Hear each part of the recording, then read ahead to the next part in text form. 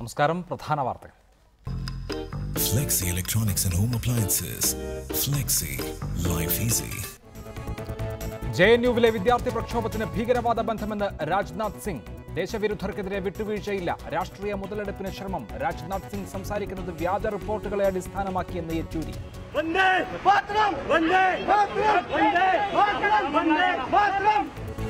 ഡൽഹിയിൽ C P I M ആസ്ഥാനമായ A K G Bhavan ആക്രമിച്ചു. എ ബി വി പിയുടെ പേരിൽ പോസ്റ്റർ പതിപ്പിച്ചു.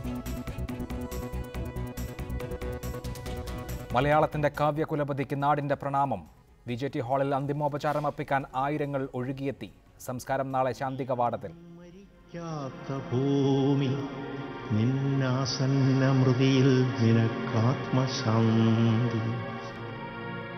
നിന്റെ എന്റെയും ചരമശുശ്രൂഷയ്ക്ക് ഹൃദയത്തിൽ ഇന്നേ കുറിച്ച ഗീതം. പ്രമുഖ ഛായാഗ്രാഹകൻ ആനന്ദക്കുട്ടൻ അന്തരിച്ചു. അന്ത്യം കൊച്ചിയിലെ സ്വകാര്യ ആശുപത്രിയിൽ. പി പി മുകുന്ദനെയും കെ രാമൻപിള്ളയെയും സ്വാഗതം ചെയ്ത് കുമ്മനം രാജശേഖരൻ പാർട്ടിയിലേക്ക് മടങ്ങിയെത്തണമെന്നാവശ്യപ്പെട്ടു. നിലപാട് സ്വാഗതാർഹമെന്ന് P P Mukundan. B J പിയുടെ ആദ്യഘട്ട സ്ഥാനാർത്ഥി പട്ടിക അടുത്ത മാസം. കതിരൂർ മനോജ് വധക്കേസിൽ റിമാൻഡിൽ കഴിയുന്ന പി ജയരാജനെ നാളെ പരിയാരത്ത് നിന്ന് കോഴിക്കോട്ടേക്ക് മാറ്റും. ആശുപത്രി മാറ്റം വൈകിയത് വേണ്ടത്ര കാർഡിയോളജി ഡോക്ടർമാർ ഇല്ലാത്തതിനെ തുടർന്ന് ആരോഗ്യനില തൃപ്തികരം ചികിത്സ തുടരണമെന്ന് ഡോക്ടർമാർ.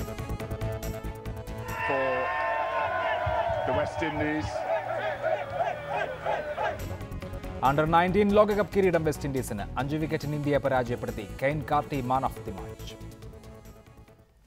Jawaharlal Nehru സർവകലാശാലയിൽ വിദ്യാർത്ഥികൾ നടത്തിയ അഫ്സൽ ഗുരു അനുസ്മരണത്തെ ലഷ്കർ ഭീകരൻ ഹഫീസ് സെയ്ദ് പിന്തുണച്ചുവെന്ന് ആഭ്യന്തരമന്ത്രി രാജ്നാഥ് സിംഗ് രാജ്യവിരുദ്ധ മുദ്രാവാക്യം മുഴക്കുന്നവർക്കെതിരെ കർശന നടപടിയെടുക്കുമെന്ന് മന്ത്രി ആവർത്തിച്ചു. അതേസമയം വ്യാജ ട്വീറ്റിന്റെ പേരിലാണ് മന്ത്രിയുടെ അവകാശവാദമെന്നും തെളിവുകൾ നൽകണമെന്നും ഇടതു സംഘടനകൾ ആവശ്യപ്പെട്ടു. പോലീസ് നടപടിക്കെതിരെ ക്യാമ്പസിൽ വിദ്യാർത്ഥികളും അധ്യാപകരും മനുഷ്യ ചങ്ങല തീർത്തു. അതേസമയം ജെ എൻ യു വിദ്യാർത്ഥികളെ ഹഫീസ് സെയ്ദ് പിന്തുണച്ചുവെന്ന ആഭ്യന്തരമന്ത്രിയുടെ പ്രസ്താവന സുരക്ഷാ ഏജൻസികളിൽ നിന്ന് ലഭിച്ച വിശദീകരണത്തിന്റെ അടിസ്ഥാനത്തിലാണെന്ന് ആഭ്യന്തര മന്ത്രാലയം വിശദീകരണക്കുറിപ്പിറക്കി. അഫ്സൽ ഗുരു അനുസ്മരണത്തിന്റെ പേരിലുള്ള ജെ എൻ യുവിലെ പോലീസ് നടപടിയിൽ പ്രതിഷേധം ശക്തമാകുന്നതിനെയാണ് വിദ്യാർത്ഥികളെ ലഷ്കർ തലവൻ ഹാഫിസ് സയ്യിദ് പിന്തുണച്ചിരുന്നുവെന്ന ആഭ്യന്തരമന്ത്രി രാജ്നാഥ് സിംഗിന്റെ അവകാശവാദം രാജ്യവിരുദ്ധ മുദ്രാവാക്യങ്ങൾക്കെതിരെ എല്ലാ പാർട്ടികളും ഒരേ സ്വരത്തിൽ സംസാരിക്കുകയാണ് വേണ്ടതെന്നും മന്ത്രി പറഞ്ഞു और मैं यह भी स्पष्ट कर देना चाहता हूं जेएनयू की जो घटना हुई है उसे लश्कर ए तोयबा के चीफ हाफिज सईद का भी समर्थन प्राप्त है देश को इस हकीकत को भी ക്യോംകി ഉസ്നെ സമർത്ഥം കിയാ ഹൈ എന്നാൽ ഹാഫിസ് സെയ്ദിന്റെ പേരിലുള്ള വ്യാജ ട്വിറ്റർ അക്കൗണ്ടിൽ ജെ എൻ യു വിദ്യാർത്ഥികളെ പിന്തുണച്ചുവന്ന ട്വീറ്റിനെ അടിസ്ഥാനമാക്കിയാണ് ആഭ്യന്തരമന്ത്രിയുടെ പരാമർശമെന്ന് കോൺഗ്രസും സി പി ഐ എമ്മും ആരോപിച്ചു. Progressive cultural and secular values which is what is the objective that appears very clearly that this government is pursuing so mister Singh has to come out and share the evidence that he has with the country. അവകാശവാദത്തെ പ്രമുഖ മാധ്യമപ്രവർത്തകരും social മീഡിയയിൽ ചോദ്യം ചെയ്തു. അതിനിടെ ഭീകരവാദിയായ അഫ്സൽ ഗുരുവും വിദ്യാർത്ഥികളും തമ്മിലുള്ള ബന്ധമന്വേഷിക്കാൻ എൻ ഐ എക്കോ സ്പെഷ്യൽ സെല്ലിനോ കേസ് കൈമാറണമെന്ന് ദില്ലി പോലീസ് ആവശ്യപ്പെട്ടു. രാജ്യദ്രോഹ കുറ്റപ്രകാരമുള്ള കേസ് കൈമാറുകയാണ് ഉചിതമെന്ന് ദില്ലി പോലീസ് കമ്മീഷണർ ആഭ്യന്തരമന്ത്രിയെ ധരിപ്പിച്ചതായാണ് സൂചന. അറസ്റ്റ് ചെയ്തവരെ ഉടൻ മോചിപ്പിക്കണമെന്നും പോലീസ് അതിക്രമം അവസാനിപ്പിക്കണമെന്നും ആവശ്യപ്പെട്ട് സർവകലാശാലയിൽ വിദ്യാർത്ഥികളും അധ്യാപകരും മനുഷ്യച്ചങ്ങല തീർത്തു.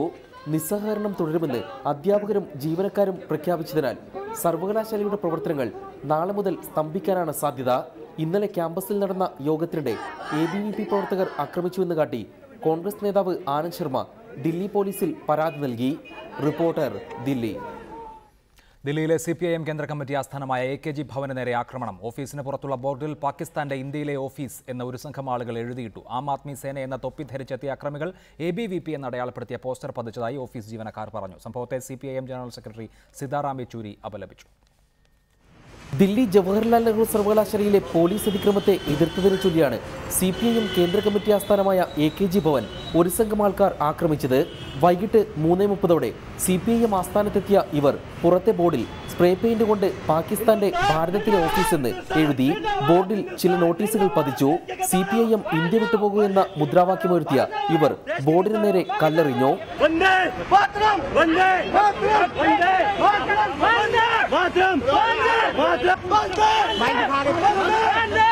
ആം ആദ്മി സേനയെന്നെഴുതിയ തൊപ്പിവെച്ചെത്തിയ സംഘം ബോർഡിലും സംഘടനയുടെ പേരെഴുതിയിട്ടുണ്ട്. ഓഫീസ് ജീവനക്കാരെത്തി സുശാന്ത് എന്ന ഒരാളെ പിടികൂടുമ്പോഴേക്കും മറ്റുള്ളവർ ഓടി രക്ഷപ്പെട്ടിരുന്നു.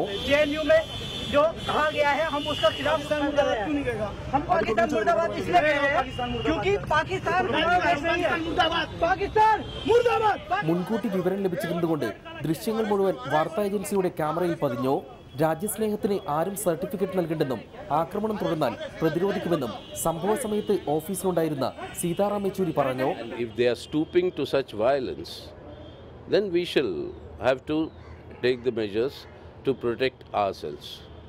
So we will answer them politically, democratically, and if they attack us, then we are, we are prepared to defend ourselves. Delhi assistant commissioner Deepak Mishra ഓഫീസിലെത്തി Sitaram യെച്ചൂരിയിൽ നിന്ന് വിവരങ്ങൾ ശേഖരിച്ചു. ആം ആദ്മി സേന എന്ന പേരിലാണ് ആക്രമണം നടന്നിരിക്കുന്നതെങ്കിലും സംഭവത്തിൽ തീവ്ര ഹിന്ദു സംഘടനകൾക്ക് പങ്കുണ്ടെന്നാണ് സി പി എം സംശയിക്കുന്നത്. എ കെ ജി ഭവനിൽ നിന്നും ക്യാമറമാൻ ഷിജു പട്ടുവത്തോടൊപ്പം എം ഉണ്ണികൃഷ്ണൻ റിപ്പോർട്ടർ.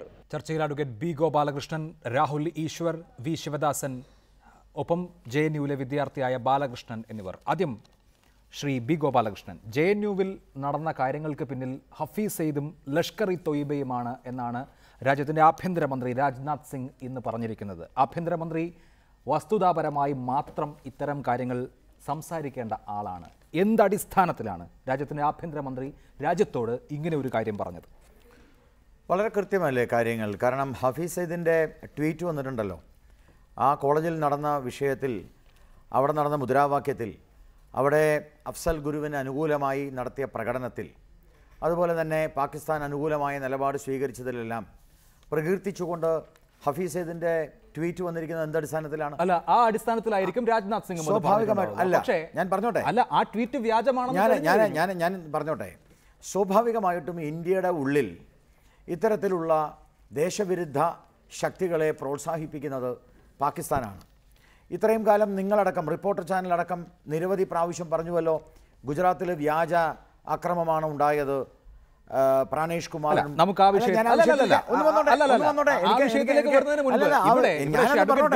ഞാനൊന്ന് പറഞ്ഞോട്ടെ. ആ വിഷയത്തിൽ. ഇക്കാര്യം പറഞ്ഞത് അതാണ് അറിയാനുള്ളത്? നിങ്ങൾ മാത്രം അടിസ്ഥാനത്തിലാണോ ഞാൻ അങ്ങോട്ട് പറഞ്ഞോട്ടെ. വിഷയത്തെ നമ്മൾ ട്വിസ്റ്റ് ചെയ്ത് കൊണ്ടുപോയിട്ട് കാര്യമില്ല. വിഷയം അല്ലല്ലോ. ഞാൻ ഇതേപോലത്തെ അഭിലാഷ്? രാജ്നാഥ് സിംഗ് അഭിലാഷ് ചോദിച്ച. അഭിലാഷ് ചോദിച്ച ചോദ്യത്തിന് ഉത്തരം പറയാനുള്ള സമയം എന്താ അഭിലാഷേ. അഭിലാഷ് പറഞ്ഞല്ലോ. ഞാൻ ഇല്ല ഞാൻ വേറെ കാര്യമല്ലല്ലോ. നിങ്ങൾ നിങ്ങളെ പോലെയുള്ള ചാനലുകൾ പ്രാണേഷ് കുമാറും ഈ ഹസ്രത്ത് ജാവേദിന്റെ വിഷയത്തിൽ ഒരു നിരപരാധിയാണെന്ന് പല വർഷം പറഞ്ഞതാണ്. ഇപ്പോൾ വളരെ കൃത്യമായിട്ട് ഹെഡ്ലി പറഞ്ഞിരിക്കുന്നു.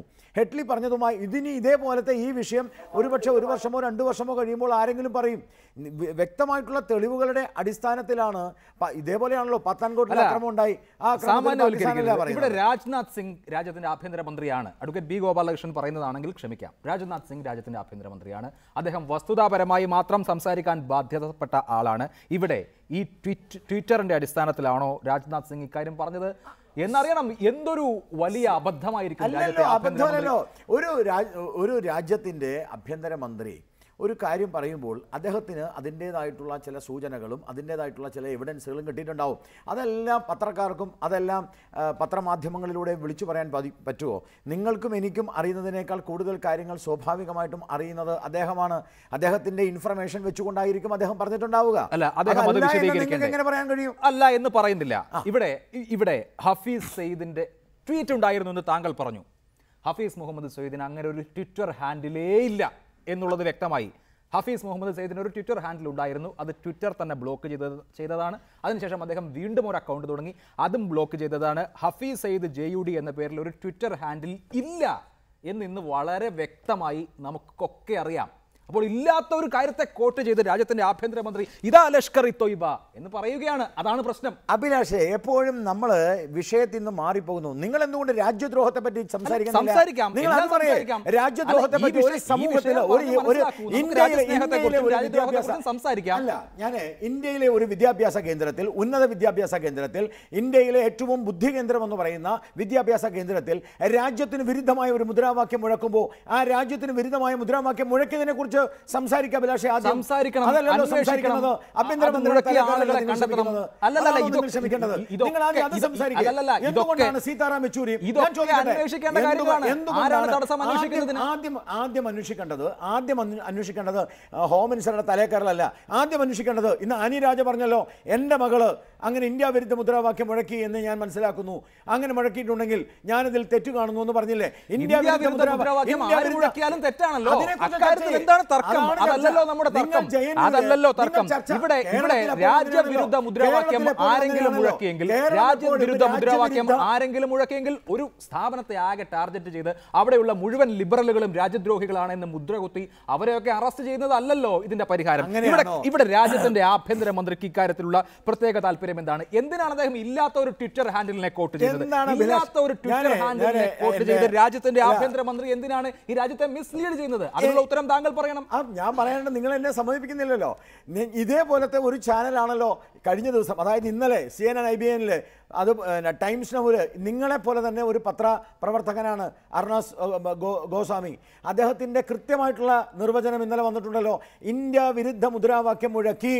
ഇന്ത്യ വിരുദ്ധ മുദ്രാവാക്യം മുഴക്കിയതിനെ കുറിച്ചാണ് നമ്മൾ ആദ്യം ചർച്ച ചെയ്യേണ്ടത്. നിങ്ങളെ പോലത്തെ പത്രപ്രവർത്തകന് കേരളത്തിലെ പത്രപ്രവർത്തകർക്ക് മാത്രം എന്താ ഇന്ത്യ വിരുദ്ധ മുദ്രാവാക്യത്തെ കുറിച്ച് ചർച്ചയില്ല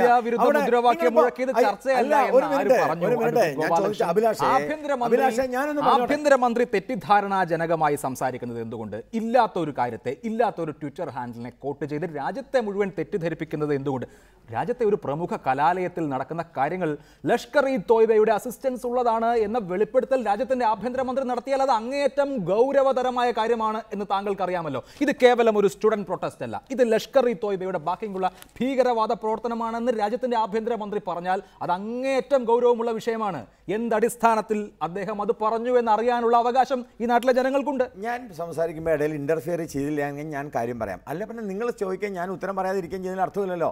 അതായത് ഒരു സ്കൂളിൽ ഒരു കോളേജിൽ അഫ്സൽ ഗുരു ആരാണ്? നിങ്ങൾ അത് ആദ്യം ചിന്തിക്കണമല്ലോ. അഫ്സൽ ഗുരു എന്ന് പറഞ്ഞാൽ ഇന്ത്യൻ ദേശീയതയ്ക്കും ഇന്ത്യൻ ജനാധിപത്യത്തിനും പാർലമെന്റിനും എതിരായിട്ട് ബി ജെ പിക്കാർ ചെയ്തതല്ല. കോൺഗ്രസ്സുകാരാണ് അഫ്സൽ ഗുരുവിനെ തൂക്കിലേറ്റിയത്. ആ കോൺഗ്രസ് തൂക്കിലേറ്റാൻ കാരണമെന്താ ഇന്ത്യയുടെ പരമോന്നത നീതിപീഠം പറഞ്ഞതാണ്. ആ പരമോന്നത നീതിപീഠം പറഞ്ഞ അഫ്സൽ ഗുരുവിന് അനുകൂലമായ മുദ്രാവാക്യം മുഴക്കി. ഒരു കോളേജിൽ പ്രകടനം നടക്കുകയും ആ കോളേജിൽ അതുമായി ബന്ധപ്പെട്ട് അഫ്സൽ ഗുരുവിന് അനുകൂലമായ നിലപാട് സ്വീകരിക്കുകയും ചെയ്താൽ ഇന്ത്യയുടെ ആഭ്യന്തരമന്ത്രി കയ്യും കെട്ടിയിരിക്കണമെന്നാണോ നിങ്ങൾ പറയുന്നത്? അങ്ങനെ കയ്യും കെട്ടിയിരിക്കുന്ന ആഭ്യന്തരമന്ത്രി അല്ല ബി ജെ പിയുടെ. അതിന്റെ പേരിൽ നിങ്ങൾ ആരെന്ത് പറഞ്ഞാലും ശരി ഇത്തരം നിലപാടുകളെ കർശനമായി നിയന്ത്രിക്കും? അല്ല അവിടെയാണ് ഞാൻ പറഞ്ഞത്. നിങ്ങൾ പറഞ്ഞ പോലെ ലഷ്കർ ഇ തോയ്ബയുടെ വിഷയത്തെ ട്വീറ്റിനെ കുറിച്ച് ഇന്ന് ടൈംസ് ഇന്ന് ഹിന്ദു ടൈം ഹിന്ദുസ്ഥാൻ ടൈംസ് അടക്കം സൺഡേ ടൈംസ് അടക്കം പത്രങ്ങൾ വെളിയിൽ വിട്ടിട്ടുള്ള വസ്തുതയാണ്. പത്രങ്ങളിൽ വരുന്ന വാർത്ത നിങ്ങളെ പോലെയുള്ള ചാനലിൽ വരുന്ന വാർത്തയുടെ അടിസ്ഥാനത്തിലാണ് നമ്മൾ നമ്മളൊക്കെ സംസാരിക്കുന്നത്. ആഭ്യന്തരമന്ത്രി അത് മനസ്സിലാക്കേണ്ടേ? അങ്ങനെ ഒരു അങ്ങനെ അങ്ങനെ ഞാൻ ചോദിക്കട്ടെ. ആഭ്യന്തരമന്ത്രി- മനസ്സിലാക്കേണ്ടേ? ഞാൻ ചോദിക്കട്ടെ ആഭ്യന്തരമന്ത്രി പറഞ്ഞോ. ഈ ട്വീറ്റിന്റെ അടിസ്ഥാനത്തിലാണ് ഞാൻ പറയുന്നത് എന്ന് ആഭ്യന്തരമന്ത്രി പറഞ്ഞു. പറഞ്ഞിട്ടില്ല. ഇല്ല അപ്പൊ ആഭ്യന്തരമന്ത്രിയുടെ കയ്യിൽ എന്തുണ്ടെന്നുള്ളത് നിങ്ങൾ അന്വേഷിക്കേ. എന്ത്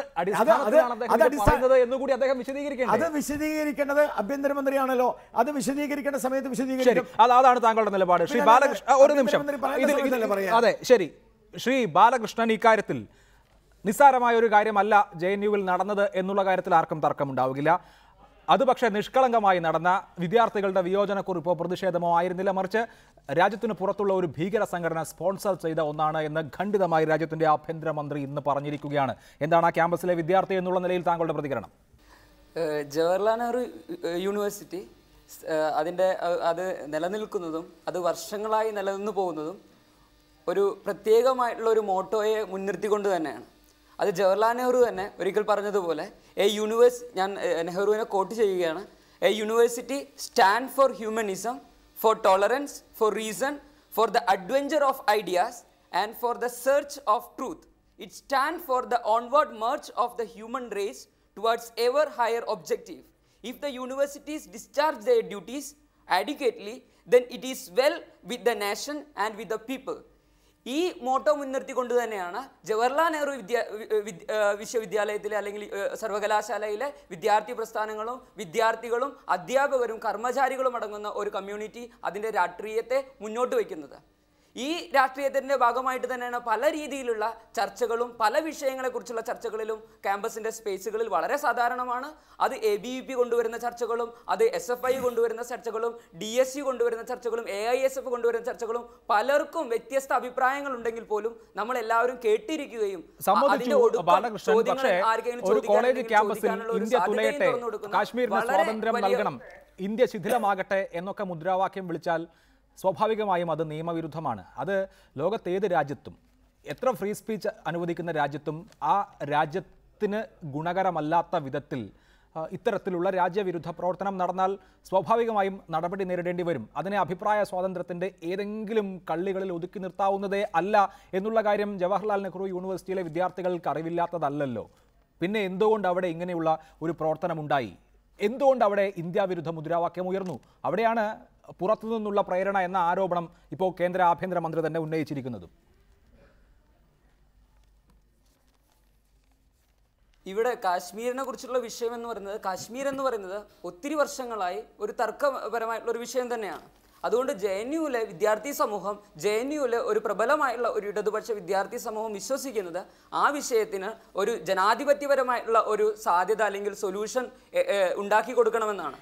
കാശ്മീർ പോലുള്ള ഒരു ജന ജനതയെ ഒരു രണ്ട് രാജ്യങ്ങൾ തമ്മിലുള്ള ഒരു ഒരു അവരുടെ പിടിവലിൽ ഉപരിയായിട്ട് അതിനൊരു ജനാധിപത്യപരമായിട്ടുള്ള സൊല്യൂഷൻ അവർക്ക് ഇന്ത്യയോടൊപ്പം നിൽക്കുകയാണെങ്കിൽ ഇന്ത്യയോടൊപ്പം നിൽക്കുക അല്ലെങ്കിൽ സ്വതന്ത്രമായിട്ടാണോ എങ്കിൽ അതിനുള്ള ഒരു ജനാധിപത്യപരമായ സൊല്യൂഷൻ അത് ഈ രാജ്യത്തിന്റെ പ്രധാനമന്ത്രി ആദ്യത്തെ പ്രധാനമന്ത്രി ശ്രീ ജവഹർലാൽ നെഹ്റു തന്നെ അന്ന് കൊടുത്തൊരു വാഗ്ദാനമാണ് അവിടെ പ്ലബിസൈറ്റ് നടത്തുക എന്നുള്ളത്. അപ്പോൾ അതെന്താണെങ്കിലും അത് പ്ലബിസൈറ്റ് നടത്തണമെന്ന് എന്റെ ഒരു നിലപാടൊന്നുമല്ല. അതെന്താണ് എന്നുള്ളത് അത് ഒരു ജനാധിപത്യപരമായുള്ള ചർച്ചയിലൂടെ ഉരുത്തിരിഞ്ഞു വരേണ്ടതാണ്. അതിന് നിങ്ങൾ ആ ചർച്ച സംഘടിപ്പിക്കാൻ പാടില്ല. ക്യാമ്പസിന്റെ സ്പേസിൽ ഒരു യൂണിവേഴ്സിറ്റി സ്പേസിൽ ഇത്തരത്തിലുള്ള വിചാരധാരകളെ ചർച്ച ചെയ്യാനേ പാടില്ല എന്ന് പറയുന്നത് ഒരു തരത്തിലുള്ള ഒരു ഫാസിസത്തെ എല്ലാവരും ഒരുപോലെ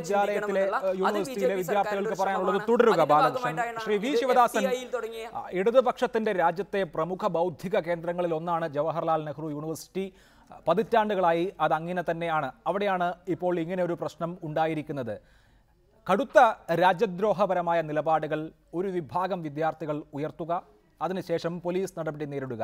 എനിക്കറിയേണ്ടത് ഇതിലെ ഇടതുപക്ഷത്തിന്റെ ഇടതുപക്ഷ വിദ്യാർത്ഥി സംഘടനകളുടെ റോൾ എന്താണ് എന്നുള്ളതാണ്. ഈ അഫ്സൽ ഗുരു അനുസ്മരണ പരിപാടി സംഘടിപ്പിച്ചത് വളരെ ചെറു ന്യൂനപക്ഷമായ ഒരു കൂട്ടം വിദ്യാർത്ഥികളാണ് എന്നാണ് ഞാൻ മനസ്സിലാക്കിയിരിക്കുന്നത്. പക്ഷേ ഇവിടെ അറസ്റ്റിലായപ്പെട്ട അറസ്റ്റ് ചെയ്യപ്പെട്ടത് എ ഐ എസ് എഫിന്റെ നേതാവായിട്ടുള്ള ജെ എൻ യു സ്റ്റുഡൻസ് യൂണിയന്റെ പ്രസിഡന്റാണ് വലിയ തോതിൽ ജെ എൻ യുവിനെ സംരക്ഷിക്കാൻ അല്ലെങ്കിൽ അവിടുത്തെ വിദ്യാർത്ഥി സമരത്തെ പിന്തുണയ്ക്കാൻ ഇപ്പോൾ മുന്നോട്ട് വരുന്നത് സി പി ഐ എം ആണ്.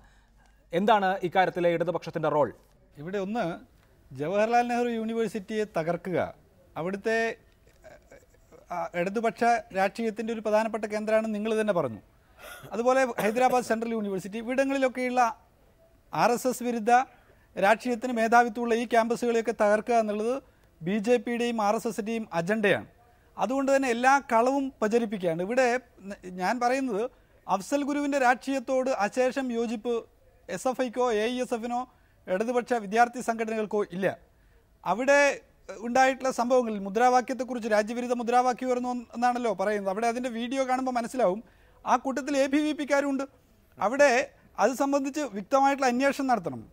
രാജ്യത്തിന്റെ അഖണ്ഡത രാജ്യത്തിന്റെ ഐക്യം സംരക്ഷിക്കേണ്ടത് ഇന്ത്യയുടെ ജനതയുടെ ആകെ ആവശ്യമാണ്. അത് സംബന്ധിച്ച് അന്വേഷണം നടത്തി അവിടെ ആരോപണം വന്നിട്ടുള്ള എ ബി വി പിക്കാരാണ് ഈ മുദ്രാവാക്യം ഉയർത്തിയിട്ടുള്ളതാണ് ആ കൂട്ടത്തിൽ ആ ഫോട്ടോയിൽ എ ബി വി പിക്കാർ അവിടെയുണ്ട് അവരാണ് അവിടെ പ്രശ്നങ്ങൾ രൂപപ്പെടുത്തുന്നത്. അപ്പോൾ അതിനെ സംബന്ധിച്ച് വ്യക്തമായ അന്വേഷണം നടത്തണം. മറ്റൊന്ന് അവിടെ അറസ്റ്റ് ചെയ്തിട്ടുള്ള കണ്ണയ്യ അവിടുത്തെ യൂണിയന്റെ പ്രസിഡന്റാണ് അദ്ദേഹം അവിടെ നടത്തിയിട്ടുള്ള പ്രസംഗത്തിൽ ഒരു വരി പോലും രാജ്യദ്രോഹത്തിന് അല്ലെങ്കിൽ രാജ്യത്തിന്റെ അഖണ്ഡതയ്ക്ക് വിഘാതം സൃഷ്ടിക്കുന്ന ഒരു വരി പോലും അതിനകത്തില്ല.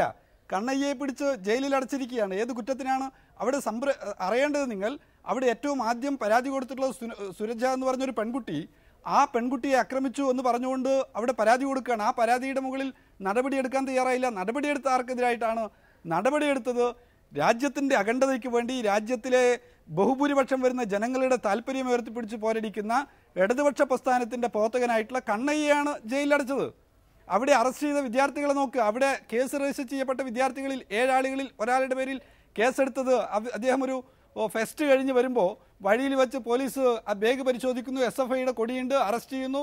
സ്റ്റേഷനിൽ കൊണ്ടുപോകുന്നു. ഒരു ദിവസം മുഴുവൻ ലോക്കപ്പിലിടുന്നു ഭീഷണിപ്പെടുത്തൽ വല്ലാത്ത നിലയിൽ മാനസിക ശാരീരിക പീഡനങ്ങൾ എന്നിട്ടാണ് വൈകുന്നേരം വിട്ടയച്ചത്. ഇത് കാണിക്കുന്നത് രാജ്നാഥ് സിംഗിനൊരു അജണ്ടയുണ്ട്. ആ അജണ്ടയാണ് അവിടെ നടപ്പിലാക്കാൻ നോക്കുന്നത്. എന്ത് കള്ളത്തരാണ് പറയുന്നത്.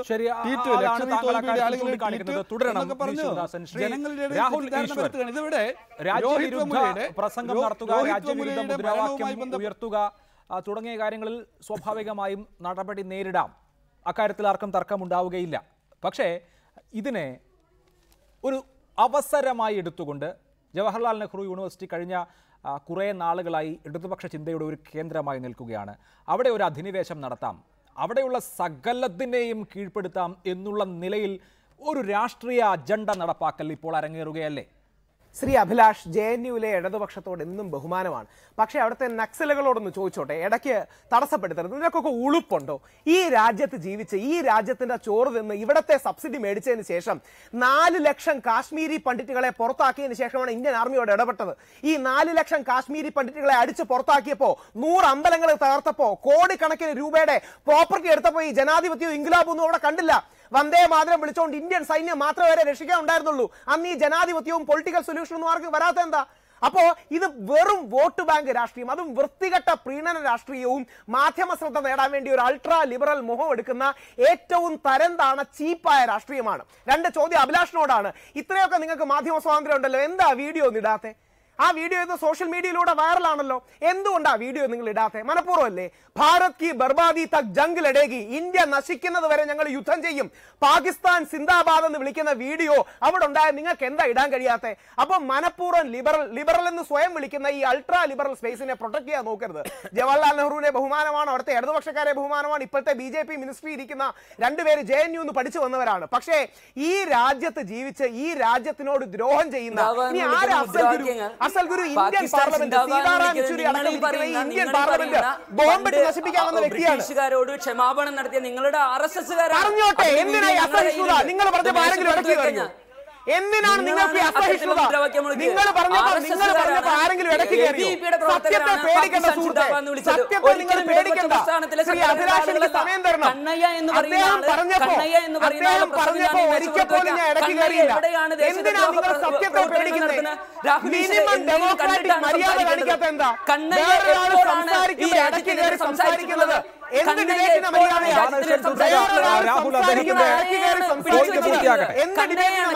ഒരിക്കൽ പോലും ഈ രാജ്യത്തിന്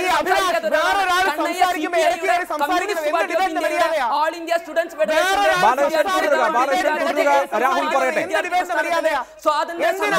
ഒരു നിമിഷം തുടരുക താങ്കളുടെ ആ കൗണ്ടർ താങ്കളുടെ കൗണ്ടറിന് ഞാൻ അവസരം തരാം. ബാലകൃഷ്ണൻ ഒരു നിമിഷം തുടരുക. രാഹുൽ രാഹുൽ താങ്കളുടെ ആ പോയിന്റ് പൂർത്തിയാക്കാം. വീഡിയോ ഞങ്ങളുടെ കേൾക്കാനുള്ള മര്യാദ ശരി, താങ്കൾ പറയൂ, താങ്കൾ പറയൂ. തീർന്നില്ല. ഇടതുപക്ഷത്തിന് ചീത്ത പേരുണ്ടാക്കുന്ന ഇവരാണ്. അഭിലാഷ് സെൻട്രൽ ലെഫ്റ്റിനെ ഞങ്ങൾ ബഹുമാനിക്കുന്നു. ആശയപരമായ വ്യത്യാസം ഉണ്ടാകാം സെൻട്രൽ ലെഫ്റ്റിനെ ബഹുമാനമാണ്. ഇടത് ചാഞ്ഞു നിൽക്കുന്നവരെ ബഹുമാനമാണ്. പക്ഷേ ഈ നക്സലുകൾ ഈ മാവോയിസ്റ്റുകൾ ജെ എൻ യുവിനും ഇന്ത്യക്കും അപമാനമേ ഉണ്ടാക്കും കണ്ടോ കേൾക്കുന്നില്ല. ഇത് കണ്ടോണ്ട് നിൽക്കുന്ന ഓരോ പ്രേക്ഷകരും കാണണം. വേറൊരാൾ സംസാരിക്കുമ്പോ ഇടയ്ക്ക് കയറി സംസാരിക്കുന്ന ഇവർക്കല്ലേ അസഹിഷ്ണുത? ശരി ഒരു നിമിഷം. ഒരൊറ്റ നിമിഷം ഒരൊറ്റ നിമിഷം ഒരൊറ്റ നിമിഷം ഒരൊറ്റ നിമിഷം. രാഹുൽ പറയാത്തെ? രാഹുൽ ഈശ്വർ രാഹുൽ ഈശ്വർ സമ്മതിച്ചു. താങ്കൾ പറയുന്ന മുദ്രാവാക്യം. ഒരു ചെറിയ ഗ്രൂപ്പിന്റെ ഇടയിൽ നിന്ന് ഒരു നിമിഷം ബാലകൃഷ്ണൻ തുടരൂ. ചർച്ച കേൾക്കൂ. ബാലകൃഷ്ണൻ തുടരൂ. ബാലകൃഷ്ണൻ തുടരൂ. ബാലകൃഷ്ണൻ തുടരൂ. ഒരു നിമിഷം ഒരു നിമിഷം ഒരു നിമിഷം തുടരൂ. ബാലകൃഷ്ണൻ തുടരൂ. ശ്രീ രാഹുൽ ഈശ്വർ ശ്രീ രാഹുൽ ഈശ്വർ ആരാണ് ഈ മുദ്രാവാക്യം വിളിക്കുന്നത്? ഈ വീഡിയോ ഒരു മാധ്യമവും പുറത്തുവിട്ടിട്ടില്ല എന്ന് പറയരുത്. ഇവിടെ ഇന്നലെ എ ബി വി പിയുടെ പ്രവർത്തകരും ഇക്കാര്യത്തിൽ പാകിസ്ഥാൻ സിന്ദാബാദ് വിളിക്കുന്നതായുള്ള ദൃശ്യം വന്നു. അപ്പോൾ അതിൽ ഡിസ്പ്യൂട്ട് വന്നു. കേൾക്കൂ ശ്രീ രാഹുൽ ഈശ്വർ. അക്കാര്യത്തിൽ അത് യഥാർത്ഥത്തിൽ എഡിറ്റ് ചെയ്യപ്പെട്ടതാണ്. സോഷ്യൽ മീഡിയയിലൂടെ ഇടതുപക്ഷ സുഹൃത്തുക്കൾ പ്രചരിപ്പിക്കുകയാണ് എന്ന വാദം വന്നു. ഇതൊക്കെ അവിടെ നിൽക്കട്ടെ. എന്തായാലും നമ്മുടെ മുന്നിൽ ഈ മുദ്രാവാക്യം വിളിക്കുന്ന ആളുകളുടെ ദൃശ്യങ്ങൾ അല്ലെങ്കിൽ അതുമായി ബന്ധപ്പെട്ടിട്ടുള്ള ഫൂട്ടേജ് ഉണ്ടല്ലോ. ഈ കന്നയ്യകുമാർ അല്ലെങ്കിൽ ഇവിടെ ആരോപണ വിധേയരായിരിക്കുന്ന ഇടതുപക്ഷ സംഘടനകളുടെ നേതാക്കളോ പ്രവർത്തകരോ ആരെങ്കിലും ആ മുദ്രാവാക്യം വിളി ഏറ്റുവിളിക്കുകയോ അവിടെ ദേശദ്രോഹപരമായ ദേശദ്രോഹപരമായ ഒരു പ്രസംഗം നടത്തുകയോ ചെയ്യുന്നുണ്ടോ? ഈ കന്നയ്യകുമാറിന്റെ പ്രസംഗത്തിൽ എവിടെയെങ്കിലും പാകിസ്ഥാൻ അനുകൂലവാദമോ ഇന്ത്യ വിരുദ്ധവാദമോ ഉണ്ടോ? ഇതൊന്നുമില്ലല്ലോ. ഞാൻ നൂറ് ശതമാനം യോജിക്കുന്നു എന്ന് മാത്രമല്ല എന്റെ സുഹൃത്ത് പറഞ്ഞതുപോലെ കന്നയ്യകുമാറിന്റെ പ്രസംഗത്തിൽ ഒരു തരത്തിലും ആന്റി ഇന്ത്യ സ്റ്റേറ്റ്മെന്റ് വന്നില്ല. അങ്ങനെ ഇന്ത്യ പോകരുതെന്നാണ് പറഞ്ഞത്. പക്ഷെ നിങ്ങൾ എന്തിനാണ് ഈ നക്സലുകൾക്ക് കുടപിടിക്കുന്നത്? ഈ മാവോയിസ്റ്റുകൾക്കും തീവ്രവാദികൾക്കും നിങ്ങൾ കുടപിടിക്കുന്നത് എന്തിനാ? ഇല്ല അഫ്സൽ ആര് ഗുരുവിന്റെ കുടപിടിച്ചു? സംഭവം എന്താണ് എന്താണ് വിഷയം? incident ചെയ്യുന്നത് എന്തിനാ? രാഹുൽ ഈശ്വർ ജനുവരി ഇക്കാര്യത്തിൽ 19 ഇക്കാര്യത്തിൽ പറയട്ടെ, ഒരു ചോദ്യം, ഒരു ദേശദ്രോഹപരമായ ചോദ്യം. നിലപാടെടുത്ത ആളുകൾക്കെതിരെ സ്വാഭാവികമായും നിയമ നടപടി വരുന്നതിൽ ആരെങ്കിലും അസഹിഷ്ണുത പ്രകടിപ്പിക്കുന്നുണ്ടോ? ഇല്ല. ഇവിടെ പ്രശ്നം ഒരു ക്യാമ്പസിനെ ആകെ ടാർഗറ്റ് ചെയ്യുന്നു എന്നുള്ളതാണ് ഇവിടെ പ്രശ്നം ഈ ഇടതുപക്ഷ സംഘടനകളുടെ നേതാക്കൾ അവിടുത്തെ ജെ എൻ യു സ്റ്റുഡൻസ് യൂണിയന്റെ പ്രസിഡന്റ് എങ്ങനെയാണ് ഈ കാര്യത്തിൽ നിസ്സാരമായ വകുപ്പല്ലല്ലോ. വൺ ട്വന്റി ഫോർ എ ചുമത്തപ്പെടുന്നത് ഏത് സാഹചര്യത്തിലാണ്? എങ്ങനെയാണ് ഒരു ക്യാമ്പസ് ആകെ ഇങ്ങനെ വളയപ്പെടുക? അതിന്റെ സാഹചര്യം എന്താണ്? ഇതിന്റെ രാഷ്ട്രീയ അജണ്ട എന്താണ്? അതല്ലേ പ്രശ്നം? വളരെ ചെറിയ ഒരു കൂട്ടം ആളുകൾ വിളിക്കുന്ന മുദ്രാവാക്യത്തിന്റെ പേരിൽ എങ്ങനെയാണ് ഒരു ക്യാമ്പസ് ആകെ ടാർഗറ്റ് ചെയ്യപ്പെടുക? ഒരു മിനിറ്റ് ഒരു നിമിഷം ഞാൻ താങ്കളിലേക്ക് മടങ്ങി വരാം. ഇതിന്റെ രാഷ്ട്രീയ അജണ്ട എന്തെങ്കിലും ഉണ്ടെങ്കിൽ കുറച്ചുകൂടെ കൃത്യമായി പറഞ്ഞാൽ ഹിന്ദു വലതുപക്ഷത്തിനോ ആർ എസ് എസിനോ ഉണ്ടെങ്കിൽ നിങ്ങൾ എക്സ്പോസ് ചെയ്തോളൂ അതിനെ ഡിഫെൻഡ് ചെയ്തോളൂ. പക്ഷേ അതിനെ ഡിഫെൻഡ് ചെയ്യാനെന്നുള്ള പേരിൽ അവിടെ ഉയർന്ന ആന്റി ഇന്ത്യ സെന്റിമെന്റ്സും ഈ കഴിഞ്ഞ ജനുവരി പത്തൊൻപതിന് ഇരുപത്തിയഞ്ച് വർഷങ്ങളായി അവിടുത്തെ കാശ്മീരി പണ്ഡിറ്റുകൾ ഇറങ്ങിയിട്ട് നിങ്ങൾ ആരെങ്കിലും എപ്പോഴെങ്കിലും അവരെ ഒന്ന് ഓർത്തിട്ടുണ്ടോ? അവർക്ക് വേണ്ടി ഒരു പരിപാടി വെച്ചിട്ടുണ്ടോ? എന്താ അഫ്സൽ ഗുരുവിന് മാത്രം ഒരു സ്പെഷ്യൽ ഇത്?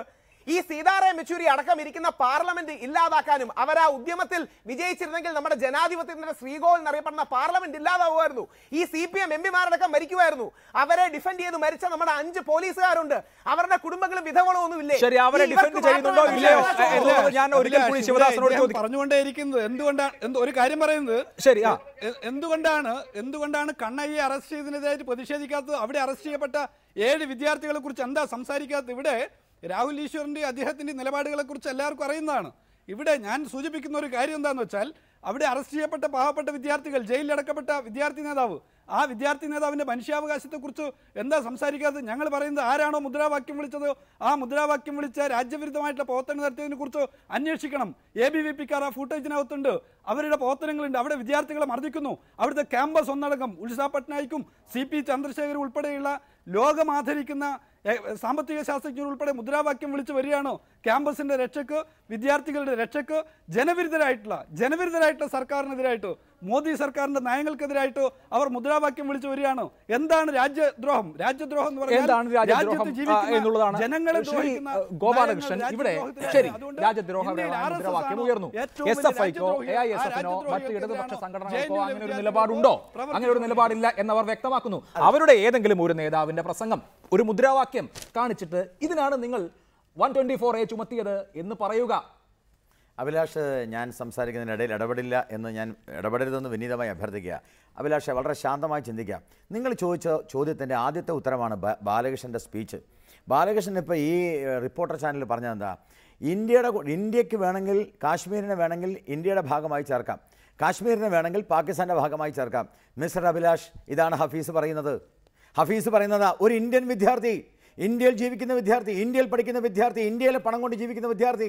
ആരാ പറയുക? ഇങ്ങനെ കാശ്മീരിന് വേണമെങ്കിൽ ഇന്ത്യയുടെ കൂടെ ചേർക്കാന്ന്. അപ്പോൾ ഇയാൾ ആരാ? ഇയാൾ പാകിസ്ഥാനാണോ? ഇന്ത്യയ്ക്ക് വെളിയിലുള്ള ആളാണോ? You think about it he is a student he is taking money from the India and he studying in J N U എന്നിട്ട് അദ്ദേഹം പറയുന്നു അദ്ദേഹത്തിന്റെ ആ ഒരു വരി വാക്ക് ഈ ചർച്ചയിൽ അദ്ദേഹത്തിന്റെ ഒരു വരി വാക്ക് വെച്ചിട്ട് ഞാൻ നിങ്ങളോട് പറയുന്നു. നിങ്ങൾ ചോദിച്ച ചോദ്യമുണ്ടല്ലോ ആദ്യം. ഹഫീസിന് എന്താ ലിങ്ക്? അതാണ് ലിങ്ക്.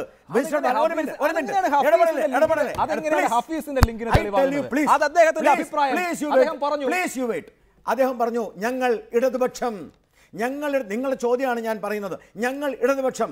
ഈ കാശ്മീർ വേണമെങ്കിൽ ഇന്ത്യയുടെ കൂടെ ചേരട്ടെ. ഈ കാശ്മീർ വേണമെങ്കിൽ പാകിസ്ഥാന്റെ കൂടെ ചേരട്ടെ. എന്താണ് അഭിലാഷ്? വി. ഒരു മിനിറ്റ് ഒരു മിനിറ്റ് ഒരു മിനിറ്റ് ഒരു മിനിറ്റ് അഭിലാഷേ. അപ്പൊ തന്നെ അഭിലാഷ് ഞങ്ങൾ ഇടതുപക്ഷം എന്ന് പറഞ്ഞുകൊണ്ടാണ് എന്റെ അഭിപ്രായം എന്നല്ല. ഞങ്ങൾ ഇടതുപക്ഷത്തിന്റെ അഭിപ്രായം എന്ന് പറഞ്ഞുകൊണ്ടാണ് അദ്ദേഹം പറഞ്ഞത്.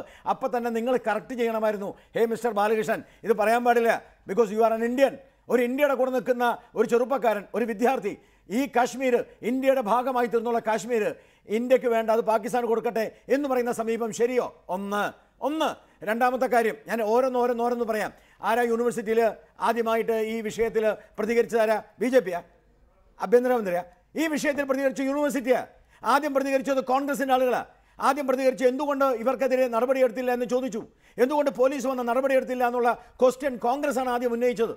ആ കോൺഗ്രസ് ഉന്നയിച്ച് യൂണിവേഴ്സിറ്റി ഉന്നയിച്ചപ്പോഴാണ് പോലീസ് വന്നത് നടപടിയെടുത്തത്. അതിനുശേഷമാണ് ഹോം മിനിസ്റ്റർ ഇടപെട്ടത്. എന്തേ? അന്ന് ആ സമയത്ത് ആദ്യം സംസാരിച്ച ആ വിഭാഗം ആളുകൾ വളരെ പെട്ടെന്ന് ഈ മുസ്ലിം സമൂഹത്തെ സംരക്ഷിക്കുവാനും ഞാൻ ചോദിക്കട്ടെ നരേന്ദ്രമോദിക്കെതിരെ നിന്നോട്ടെ? പക്ഷേ ഒരിക്കൽ നരേന്ദ്രമോദിക്കെതിരെ ജനാധിപത്യപരമായി നിങ്ങൾ എന്ത് നടപടി വേണം സ്വീകരിച്ചോ? നിങ്ങൾ സെൽഫിക്കെതിരായിട്ടോ? നരേന്ദ്രമോദിക്കെതിരായിട്ടോ? എന്ത് വേണം ചെയ്തോ? പക്ഷേ ഇന്ത്യ വിരുദ്ധ മുദ്ര നരേന്ദ്രമോദിക്കെതിരെ അതുകൊണ്ട് ഇന്ത്യ വിരുദ്ധ മുദ്രാവാക്യം മുഴക്കുക അതിനെക്കുറിച്ച് നമ്മൾ ചർച്ച ചെയ്യുക. ഒന്ന് നിൽക്ക് നിൽക്ക് കഴിഞ്ഞിട്ടില്ല നിങ്ങൾ ചോദിച്ച ചോദ്യമുണ്ടോ. എനിക്ക് ഈ ബാലകൃഷ്ണനോട് അതുപോലെ എന്റെ സുഹൃത്ത് ഇടതുപക്ഷത്തോടും പറയണം. ഇവരുടെ ഇന്ത്യ വിരുദ്ധ മുദ്രാവാക്യം നമ്മൾ ചരിത്ര വിദ്യാർത്ഥികളാണ് ആയിരത്തി തൊള്ളായിരത്തി ഇരുപത്തഞ്ച് തൊട്ട് തുടങ്ങിയതാണ് ഞാൻ ചോദിക്കട്ടെ ഇന്ത്യയിലെ എല്ലാ പാർട്ടിയും Indian National Congress Indian Janata party Indian Lokdal Bharatiya Janata party നിങ്ങൾ മാത്രം എന്തേ? ഇന്ത്യൻ. വിളിക്കാത്തത്.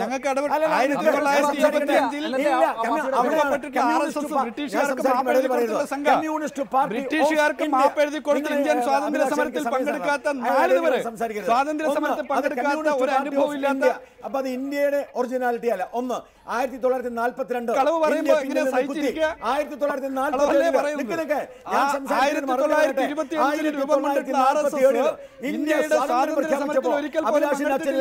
ഈ നാട്ടിലെ മുഴുവൻ ആളുകളും ത്രിവർണ പതാക പാലിച്ചുകൊണ്ട്. ഈ നാട്ടിലെ സ്വാതന്ത്ര്യം നിങ്ങൾക്ക് എത്ര ഉദാഹരണം. ഇന്ത്യ വിരുദ്ധ എത്ര ഉദാഹരണമാണ് ബി ഗോപാലകൃഷ്ണൻ ഈ അഭിലാഷേ, ഞാൻ. അല്ലല്ല, ഇടതുപക്ഷത്തിന് ആദ്യം ഇന്ത്യ വികാരം ഉണ്ടാവണം. ഇന്ത്യ. മുദ്രാവാക്യമോ വിരുദ്ധ മുദ്രാവാക്യത്തിന് അവിടെയാണ് പ്രശ്നം. അതായത് ജെ എൻ യൂണിവേഴ്സിറ്റിയിൽ നടന്ന സംഭവം. സംസാരിക്കല്ലേ? ഞാൻ സംസാരിക്കട്ടെ. എന്നോടാണല്ലോ സംസാരിച്ചത്? S F. ഐയുടെ ആളുകൾക്ക്.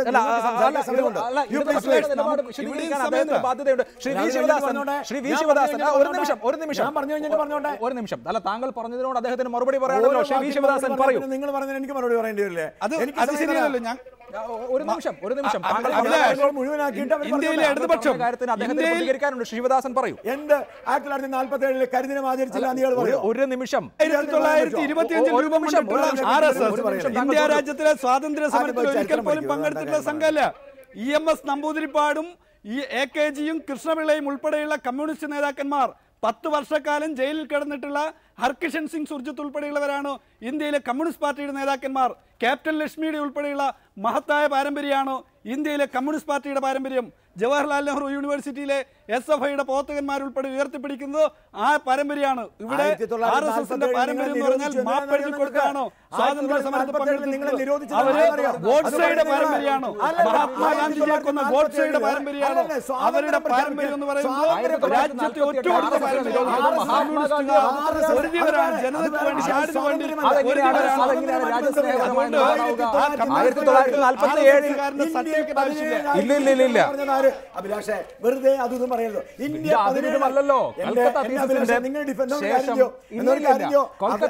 കാര്യം ശേഷം- കമ്മ്യൂണിസ്റ്റ് പാർട്ടിയെ. ഒരു കാര്യം മഹാത്മാഗാന്ധിയുടെ പിന്നാലെ അഭിലാഷ് അഭിലാഷ് അപ്പുറത്തെ സി പി എമ്മിന് വേണ്ടിയോ ഇടതുപക്ഷത്തിന് വേണ്ടി പോയിരിക്കും. ഞാൻ സംസാരിക്കാം. ഗാന്ധിജിയെ കൊന്നവർ. നിങ്ങൾ എന്നോട് ഗാന്ധിജിയെ കൊന്നവർ. നെഹ്റുവിനെ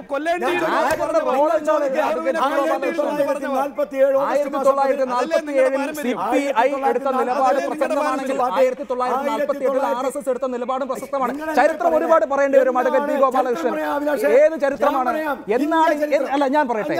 എന്നാണ് ഇന്ത്യൻ ഭരണഘടനയെ ആർ എസ് എസ് അംഗീകരിക്കാൻ തുടങ്ങിയത്? എന്ന് മുതലാണ് എന്ന് മുതലാണ് ഇന്ത്യൻ ഭരണഘടനയെ ആർ എസ് എസ് അംഗീകരിക്കാൻ തുടങ്ങിയത്? ഇന്ത്യൻ ഭരണഘടനയെ എന്നും എന്നും ഇല്ല.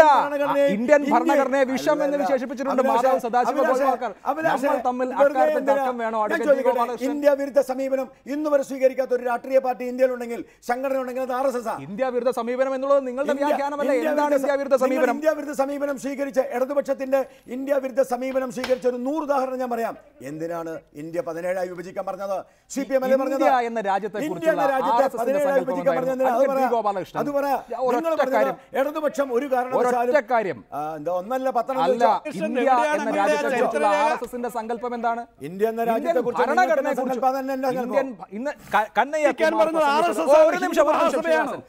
ഇന്ത്യ പറഞ്ഞ ഗാന്ധിജിയെ എനിക്ക്. ഗാന്ധിജിയെ കുറിച്ച് പറയണേ. ഭരണഘടന നൽകിയിട്ടുള്ള അവകാശങ്ങൾ സംരക്ഷിക്കപ്പെടണം എന്നാണ് കന്നയ്യ കുമാർ പ്രസംഗിച്ചത്. അതിൽ സെഡീഷൻ ഇല്ലല്ലോ. ശരി ഇതേ കോൺസ്റ്റിറ്റ്യൂഷനെ കുറിച്ച് എം എസ് ഗോൾവാൾക്കർ നടത്തിയ അഭിപ്രായ പ്രകടനം എന്താ? Unfortunately our constitution has given equal rights to everybody just as a person giving equal rights to his children and to the thieves in his house and distribute the property among all ഇത് Madhava Sadashiva Golwalkar why Hindu Rashtra എന്ന പുസ്തകത്തിൽ എഴുതി വെച്ചതാണ്. നിങ്ങൾ മാധവ സദാശിവ ഗോൾവാൾക്കർ. അപ്പൊ അങ്ങനെയാണെങ്കിൽ നിങ്ങൾ ഗോൾവാൾക്കർ തള്ളി പറയണം. എന്നോട് ചോദിക്കാൻ ഞാൻ മറുപടി അഭിലാഷ്, നിങ്ങൾ ഇനി മറുപടി. ഇതാണ് ആർ എസ് എസിന്റെ. ഇന്ത്യയുടെ കോൺസ്റ്റിറ്റ്യൂഷനിൽ ആർ എസ് എസിന്റെ കോൺസ്റ്റിറ്റ്യൂഷനിൽ ഇന്ത്യ വിരുദ്ധമായിട്ട് നിങ്ങൾ അതൊന്നുമല്ലല്ലോ വിഷയം. എം എസ് ഗോൾവാൾക്കർ നിങ്ങൾ കോൺസ്റ്റിറ്റ്യൂഷനെ കുറിച്ച് സ്വീകരിച്ച സമീപനം. എഴുതി വെച്ച സമീപനമാണ്. അതാണ് ഞാൻ പറയുന്നത്. നിങ്ങൾ മാത്രം എങ്ങനെയാണ് ഇത്ര വലിയ രാജ്യസ്നേഹത്തിന്റെ ശരി. മറ്റുള്ള ആളുകൾ- ഇടതുപക്ഷമാണ്. മറ്റുള്ള ആളുകളുടെ രാജ്യസ്നേഹവും നിങ്ങൾ ചോദിക്കേ. ഇതാണ് ആർ എസ് എസിന് ഇന്ത്യൻ കോൺസ്റ്റിറ്റ്യൂഷനോടുള്ള സമീപനം. ഇന്ത്യൻ കോൺസ്റ്റിറ്റ്യൂഷനെ എന്നാണ് നിങ്ങൾ അംഗീകരിക്കുന്നത്? ഇന്ത്യൻ കോൺസ്റ്റിറ്റ്യൂഷൻ എന്ന് വന്നു അന്ന് തൊട്ട് അംഗീകരിക്കുന്നു. ഇത് ഇന്ത്യൻ കോൺസ്റ്റിറ്റ്യൂഷൻ. വന്നതിന് ശേഷമാണ് നിങ്ങൾ ഒരു കാര്യം ആ പുസ്തകം നിങ്ങൾ വെളിയിൽ വെക്കുക ആ. പുസ്തകത്തിൽ നിന്നുള്ള ഒരു പോർഷനാണ് ഞാൻ ഉദ്ദേശിച്ചത് ഗോൾവാൾക്കർ എഴുതി വെച്ച കാര്യമാണ് ഞാൻ പറയുന്നത്. നിങ്ങൾ നിമിഷം. ഞാൻ വെറുതെ ഗുരുജി ഗോൾവാൾക്കർ എഴുതി വെച്ചു എന്ന് പറഞ്ഞ എന്തുമാത്രം ഇന്ത്യൻ കോൺസ്റ്റിറ്റ്യൂഷൻ എതിരായിട്ട് ഗുരുജി ഗോൾവാൾക്കർ എഴുതി വെക്കില്ല. എന്നും- മാത്രമല്ല ഒറ്റ കാര്യം കൂടി, ഒറ്റ കാര്യം കൂടി. കാര്യം കൂടി, ഒറ്റ കാര്യം കൂടി. എനിക്ക് ഒരു വേദനയുമില്ല വസ്തുതാപരമായി. സംസാരിക്കട്ടെ. ഒരു വേദനയുമില്ല ആയിരത്തി തൊള്ളായിരത്തി. ഒരൊറ്റ വസ്തുത കൂടി. ഒരൊറ്റ വസ്തുത കൂടി. അല്ലല്ല, പറയുമ്പോൾ ഒരൊറ്റ വസ്തുത കൂടി. ആയിരത്തി തൊള്ളായിരത്തി നാൽപ്പത്തി ഒൻപത് നവംബർ മുപ്പത് ആയിരത്തി തൊള്ളായിരത്തി അൻപത് ജനുവരി ഇരുപത്തിയഞ്ച് ഈ രണ്ട് ഓർഗനൈസർ ലക്കങ്ങൾ ഒരു പക്ഷേ പരതിയാൽ നമുക്ക് കിട്ടുമല്ലോ. ആർക്കൈവ്സിൽ ഉണ്ടാകുമല്ലോ ഈ രണ്ട് പതിപ്പുകളും ഭരണഘടനയ്ക്ക് പകരം മനുസ്മൃതി ഇവിടുത്തെ ലോ ഓഫ് ദ ലാൻഡ് ആക്കണമെന്ന് ആവശ്യപ്പെട്ടതാണ്. അങ്ങനെ ആവശ്യപ്പെട്ട- 1949 നവംബർ ഒരു മിനിറ്റ്, 30th, ഒരു മിനിറ്റ്. 1950th ജന- ഞാൻ ജാനുവരി ഞാൻ 20th. ഞാൻ ഞാൻ വെല്ലുവിളിക്കുന്നു ശരി. M S Golwalkar M S Golwalkar അല്ല ഓർഗനൈസർ ഓർഗനൈസറിൽ പലരും എഴുതും. ഓർഗനൈസറിൽ എഴുതുന്ന മുഴുവൻ നിങ്ങളുടെ നിങ്ങളുടെ ഈ ചർച്ച ഈ ചർച്ചയിൽ പല ആളുകളും വന്ന് സംസാരിക്കും. അതൊക്കെ നിങ്ങളുടെ ചർച്ചയിലെ റിപ്പോർട്ടർ ചാനൽ ആയിരത്തി തൊള്ളായിരത്തി നാൽപ്പത്തി ഒൻപത് നവംബർ മുപ്പത് ആയിരത്തി തൊള്ളായിരത്തി അൻപത് ജനുവരി ഇരുപത്തി അഞ്ച് ഓർഗനൈസറിന്റെ രണ്ട് പതിപ്പുകളാണ് ഓർഗനൈസർ എന്ന് പറയുന്നത് രണ്ട് പത്രമാണ്. അഭിലാഷേ, ഓർഗനൈസർ എന്ന് പറയുന്ന ഒരു പത്രം അതിൽ പലരും എഴുതും. ആ എഴുതുന്ന ഒന്നും ആർ എസ് എസിന്റെയോ. ഞാൻ ചോദിക്കട്ടെന്ന്. ഇവിടെ ഞാൻ വന്ന് ചർച്ച ചെയ്യുന്നില്ലേ? ആ ചർച്ച ചെയ്യുന്ന കാര്യങ്ങൾ മുഴുവൻ നിങ്ങളുടെ- അല്ല നിങ്ങളുടെ റിപ്പോർട്ടർ ചാനലിന്റെ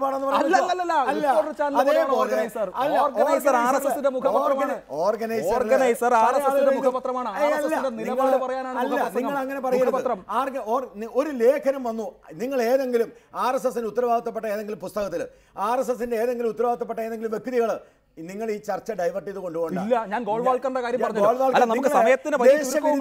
ദേശവിരുദ്ധമായ ആന്റി നാഷണൽ ആയിട്ടുള്ള മുദ്രാവാക്യം.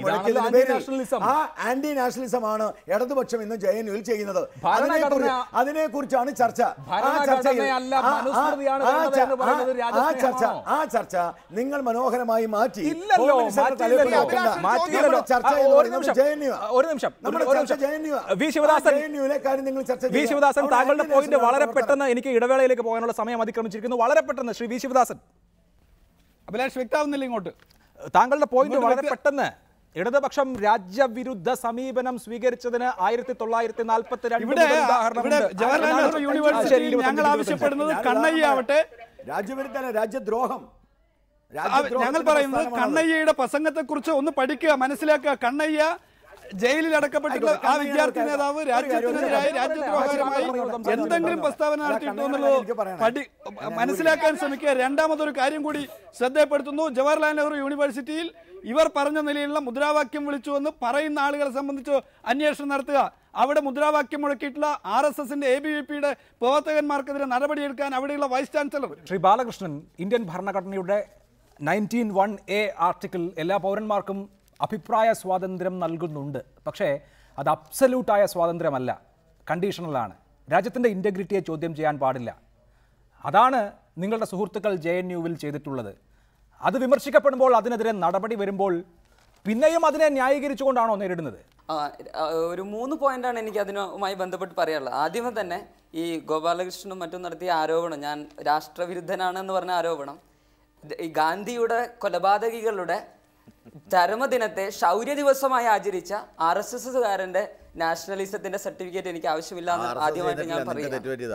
പിന്നെ ഇവർ എല്ലാ കാലഘട്ടത്തിലും ഇന്ത്യൻ ഭരണഘടനയെ അല്ല ആയിക്കൊള്ളട്ടെ ബാല ഇന്ത്യൻ ഭരണഘടനയെ തിരസ്കരിച്ചുകൊണ്ട് മനുസ്മൃതി നടപ്പിലാക്കണം എന്ന് ഈ അടുത്ത് തന്നെ വാങ്ങിക്കേണ്ട. പക്ഷേ കാശ്മീരിന് സ്വാതന്ത്ര്യം കൊടുക്കണം ഇന്ത്യ തുലയട്ടെ എന്ന മുദ്രാവാക്യം മുഴക്കുന്നത് പാർലമെന്റ് ആക്രമണ കേസിൽ വധശിക്ഷയ്ക്ക് വിധിക്കപ്പെട്ട ആളുടെ ചരമവാർഷികം അദ്ദേഹത്തിന്റെ ഫോട്ടോയുമായി നടത്തുന്നത്. ഇതൊക്കെ രാജ്യത്തിന്റെ അഖണ്ഡതയെ തന്നെ ചോദ്യം ചെയ്യലാണ്. ആർ എസ് എസിന്റെ സർട്ടിഫിക്കറ്റ് ഒന്നും വാങ്ങിക്കേണ്ട. ഓക്കെ ഒരു കാര്യം ഒരു കാര്യം പറഞ്ഞോട്ടെ. ഈ ഇന്ത്യ രാജ്യം വളരെ അറിയപ്പെടുന്നത് തന്നെ അല്ലെങ്കിൽ ഇന്ത്യ ഇന്ത്യയെ നമ്മൾ എപ്പോഴും ഇന്ത്യയിൽ പുളകം കൊള്ളുന്ന അല്ലെങ്കിൽ ഇന്ത്യ എന്ന് കേൾക്കുമ്പോൾ പുളകം കൊള്ളുന്നത് അതിന്റെ നാനാത്വത്തിൽ ഏകത്വം എന്നുള്ള ഒരു സത്വത്തെ മുൻനിർത്തിക്കൊണ്ട് തന്നെയാണ്. ഈ നാനാത്വം തന്നെയാണ്. അതായത് ഡൈവേഴ്സിറ്റിയെ സെലിബ്രേറ്റ് ചെയ്യുക. അത് ഐഡിയയിലായാലും ഐഡിയോളജിയിലായാലും ജീവിത രീതിയിലാണെങ്കിലും എല്ലാ രീതിയിലാണെങ്കിലും ഐഡിയോളജിയിലുള്ള എല്ലാവിധ ഡിഫറൻസുകളെയും ഉൾക്കൊണ്ടുകൊണ്ട് ഒരു ജനാധിപത്യ സംവിധാനത്തെ അതിൽ നിന്നൊരു സമവായത്തെ രൂപീകരിച്ചുകൊണ്ട് ഒരു ജനാധിപത്യ സമൂഹത്തെ ചലിപ്പിക്കുക എന്നുള്ളത് തന്നെയാണ് ഇന്ത്യ മുന്നോട്ട് വയ്ക്കുന്ന ഒരു ആദർശം. ഇല്ലാതെ ഒരു ഏകീകൃതമായ ഏകീകൃതമായിട്ടുള്ള ഒരു ചിന്ത വേണമെന്നുള്ളത് യൂറോപ്യൻ ചിന്താഗതിയാണ്. അഭിപ്രായ സ്വാതന്ത്ര്യം എന്നുള്ളത് ചിന്താഗതിയാണ്. പരമമായ ഒന്നല്ല. രാജ്യത്തിന്റെ അഖണ്ഡത ചോദ്യം ചെയ്യുന്നത് ഭരണഘടനയുടെ അത് നിങ്ങൾ അവിടെ ചെയ്തിരിക്കുന്നു. നൽകുന്ന ഇന്ത്യൻ കോഡ് എന്ന് പറയുന്നത് വെറുതെ മറിച്ചു നോക്കാനല്ല അതിൽ വകുപ്പുകളുണ്ട്. അതനുസരിച്ച് കേസെടുക്കപ്പെട്ടിരിക്കുന്നു അത് ചെയ്ത ആളുകൾക്കെതിരെ. അത് അപ്പോഴും ആഘോഷമാണെന്ന് ന്യായീകരിച്ച് നിൽക്കാൻ പറ്റില്ല നിങ്ങൾക്ക്. കോഡിലെ Indian Indian Indian penal കോഡിലെ section വായിക്കുകയാണ് ഞാൻ. ഇന്ത്യൻ പീനൽ കോഡിലെ സെക്ഷൻ നൂറ്റി ഇരുപത്തിനാലിന്റെ എയുടെ എക്സ്പ്ലനേഷൻ പറയുന്നത് രണ്ടാമത്തെ എക്സ്പ്ലനേഷൻ പറയുന്നത് common expressing disapprobation of the measures of the government with a view to obtain their alteration by lawful means without exciting or attempting to excite hatred, contempt, or disaffection do not constitute an offense under this section. Rahul Eashwar, Eashwar താങ്കളുടെ അവസരം. അവരുടെ ചർച്ചയുടെ വിഷയം എന്ന് പറയുന്നതും അതായത് കോടതി തന്നെ പറഞ്ഞതാണ് ശരി, മനസ്സിലായി. തെളിവില്ല. രാഹുൽ ഈശ്വർ താങ്കളുടെ അവസരം. അടിസ്ഥാനപരമായി ഒരൊറ്റ കാര്യമേ പറയാനുള്ളൂ ആർ എസ് ആർ എസ് എസ്സുകാരനും കോൺഗ്രസ്സുകാരനും കമ്മ്യൂണിസ്റ്റുകാരനുമാണ് നമ്മളിൽ പലരും. ആയിക്കോട്ടെ നിങ്ങൾ ഒരു ഇന്ത്യക്കാരനായി ഈ വിഷയം കാണൂ. രാഷ്ട്രീയത്തിന് അതീതമായി പോകൂ. നിങ്ങൾ ശ്രീ പിണറായി വിജയന്റെ നേതൃത്വത്തിൽ ശ്രീ സീതാറാം യെച്ചൂരിയുടെ നേതൃത്വത്തിൽ ഒരു സെന്റർ ലെഫ്റ്റിലേക്കാണ് കമ്മ്യൂണിസ്റ്റ് പാർട്ടികളെയും സഖ്യങ്ങളെയും കൊണ്ടുവരാൻ ആഗ്രഹിക്കുന്നെങ്കിൽ ഇത്തരം നക്സൽ പ്രവണതകൾ അൾട്രാ ലെഫ്റ്റ് പ്രവണതകൾ മാവോയിസ്റ്റ് പ്രവണതകൾ മാറ്റണ്ടേ? അതിനെ ആക്റ്റീവായി തള്ളി പറയണ്ടേ ഈ വിഷയത്തിൽ രാഷ്ട്രീയത്തിന് അതീതമായി സി പി എമ്മും മറ്റും വന്ന് ആ വിദ്യാർത്ഥികൾ ചെയ്ത തെറ്റാണ്.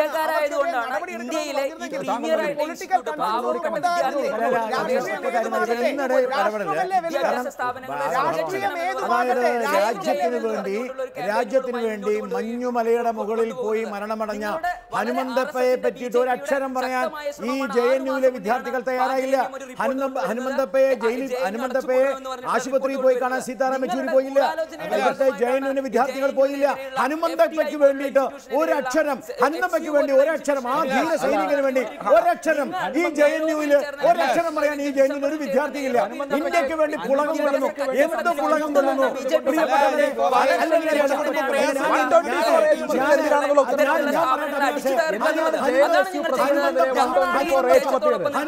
ഞങ്ങളാണ് ഇന്ത്യ എന്നുള്ള വിശ്വാസത്തെ ഉയർത്തിപ്പിടിച്ചുകൊണ്ട് നിൽക്കുന്നത് ഇന്ത്യ എന്നുള്ള ഇവിടെ നടക്കുന്നത് രാജ്യവും അല്ലെങ്കിൽ ബി ജെ പിക്കും എതിരെയുള്ള സമരമാണ് രാജ്യം ജെ എൻ യുവിനോടൊപ്പമാണ് ജെ എൻ യു ഉയർത്തിപ്പിടിക്കുന്ന രാഷ്ട്രീയം ഈ രാജ്യത്തെ പാവപ്പെട്ടവർ മുന്നോട്ട് കൊണ്ടുവരുന്ന അവരുടെ മുഖ്യധാരയിലേക്ക് എത്തിക്കുക എന്നുള്ള രാഷ്ട്രീയ ശരി ശരി ശരി സമ്മതിച്ചു. സമ്മതിച്ചു സമ്മതിച്ചു.